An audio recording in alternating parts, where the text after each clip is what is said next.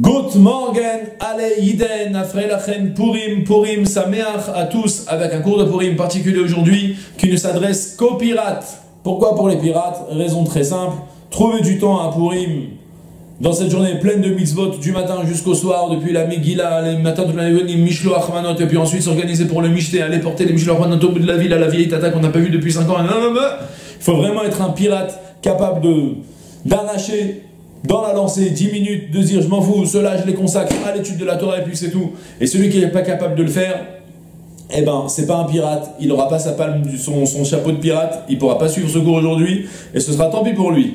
Et puis, en réalité, je vais vous dire, on a beaucoup hésité dans le programme du 5 minutes, est-ce qu'il fallait laisser le cours de Purim ou non, parce que c'est quand même euh, une journée chargée, et puis les jours de fête, j'ai remarqué que l'audimat, il baisse beaucoup. Et finalement, je suis arrivé à la conclusion que de toute façon, ceux qui réussissent à nous suivre tous les jours, c'est de toute façon des pirates.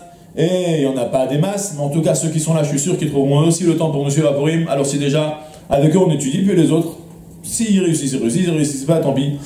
En tout cas, on a, pour aujourd'hui, on a étudié Sanhedrin Perikud, Aleph Mishnah Hey, avec Demain, on fera Bezrat Hashem à Purim des Moukafin, le Purim de Yerushalayim.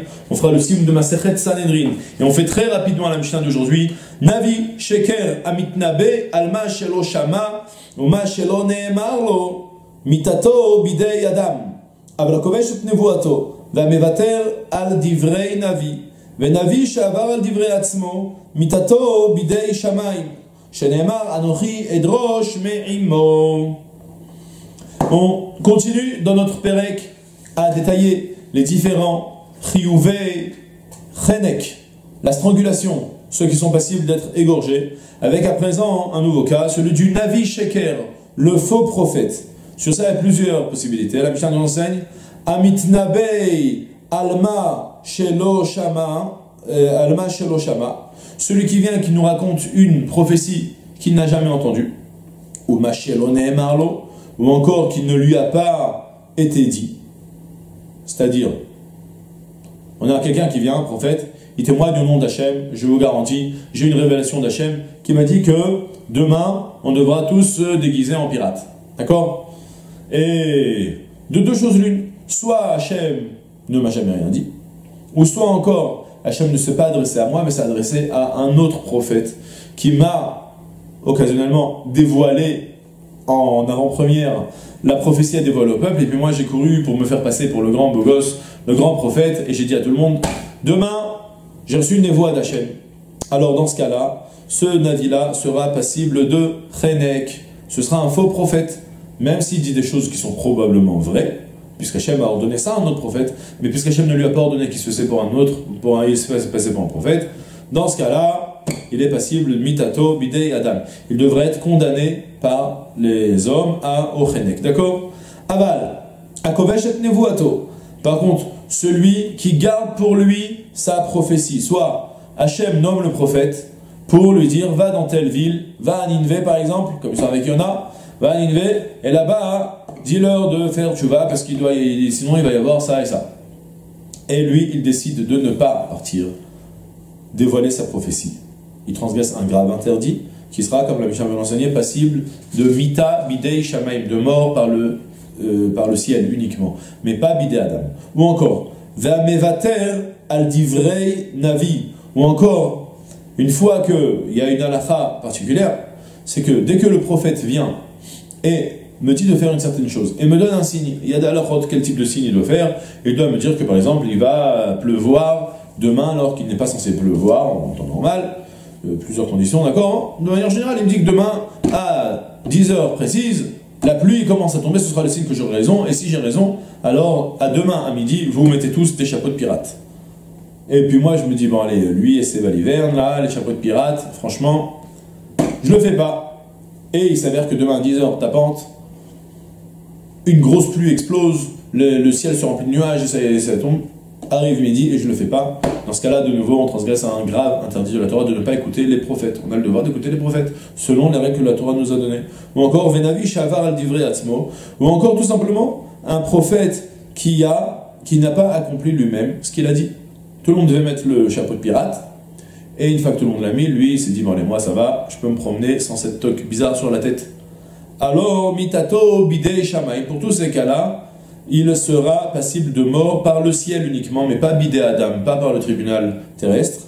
Chez Nehemar, comme le Pasuk nous dit, Anochi edrosh meimo, dans la paracha, dans laquelle Hachem nous raconte qu'il va y avoir des prophètes qui viendront et qu'on devra les écouter selon plusieurs conditions, à condition qu'ils parlent Beshem Hachem, et oui, comme on en parlera dans la prochaine Mishnah, pas au nom du Navodazara, il parle au nom du Shem Hashem sans contredire la Torah selon les conditions requises. On a tous le devoir de l'écouter, et si on ne l'écoute pas, alors Hachem il nous l'a dit là-bas explicitement Anochi Edrosh Meimo, moi j'irai lui régler mes comptes avec celui-là, soit avec le propre Navi, donc qui ne fait pas ce qu'il qui n'accomplit pas ce qu'il a dit de faire, ou encore avec ceux qui ne pas.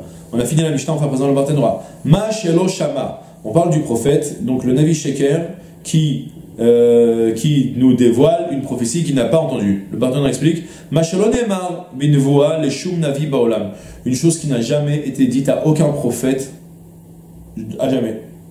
Ou ou bien l'autre possibilité, c'est-à-dire ou ce qui a été dit à son ami, à un autre prophète, mais pas à lui-même.